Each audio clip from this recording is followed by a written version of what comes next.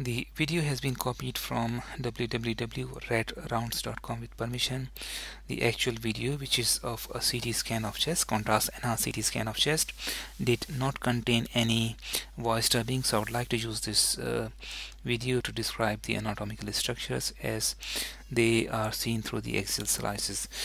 Uh, so we the first slice is at the level of Xiphisternum here, uh, at the level of uh, diaphragm and we will be moving up towards the neck. So this is the anterior aspect uh, of the front side of the patient. This is the posterior side of the patient. This is the lateral left left lateral aspect and the the right lateral side.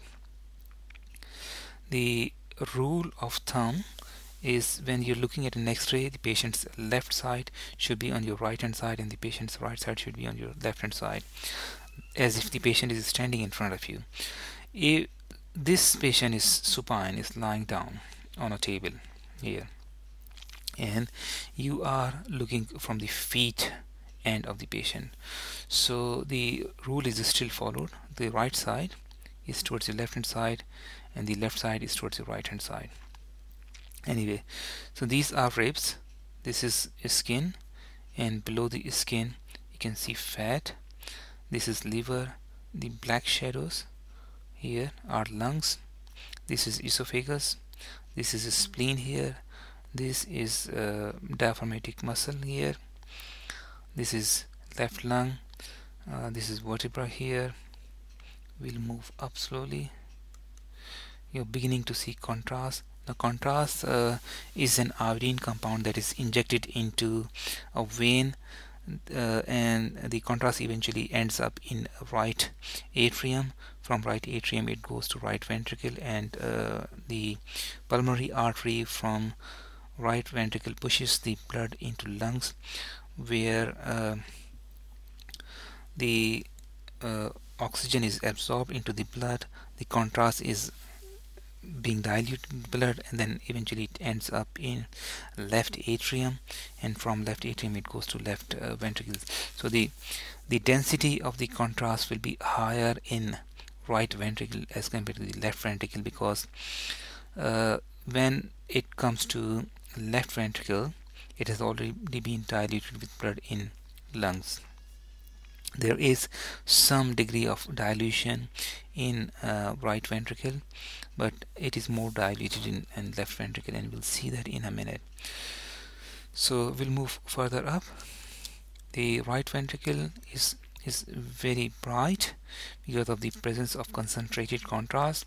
You're beginning to see the left ventricle here. Esophagus descending aorta uh, some liver is still visible through the diaphragm. Okay now you're beginning to see the contrast in left ventricle here. This is septum. Heart lies oblique in the thoracic cavity not straight. So this is myocardium the left sided myocardium. The walls are quite thick as you know as compared to the right side of the heart which is normal. Okay so we're going up. Now this is left atrium. You can see valve here. The contrast in left ventricle is dilated as compared to the right ventricle here. Okay so this is right atrium. Somewhere here. The left ventricle will eventually give rise to aorta somewhere here. This is left atrium again. These lines and these dots are uh, pulmonary vessels. Either they're branches of pulmonary artery or pulmonary veins.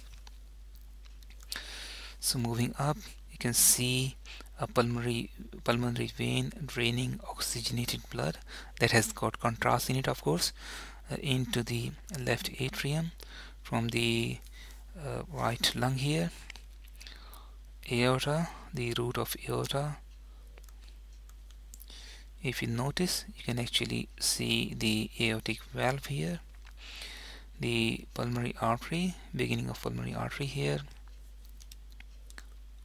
Okay you can clearly see aortic valve here these lines. Uh, pulmonary vein from left lung draining into left atrium descending aorta. This will become ascending aorta very soon. Okay. So few more branches draining oxygenated blood into left atrium. Now this is a filling defect here. This is a branch of pulmonary artery or right pulmonary artery.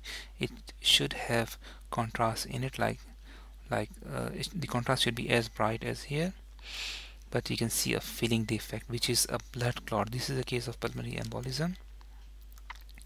You can see still you can still see a clot here. This is contrast. So we'll move further up. Is still you can still see a clot here. This is main pulmonary trunk.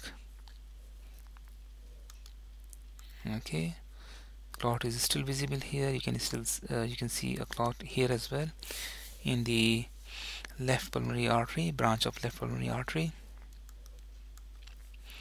The main pulmonary trunk giving off right pulmonary artery. You can see the blood clot here. The clot is also visible here. Okay this is a very big clot okay going into both pulmonary arteries.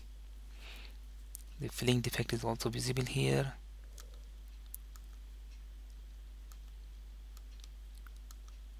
Okay ascending aorta and descending aorta will join together. If we go further up this is uh, trachea. So this is arch of aorta now. And thank you very much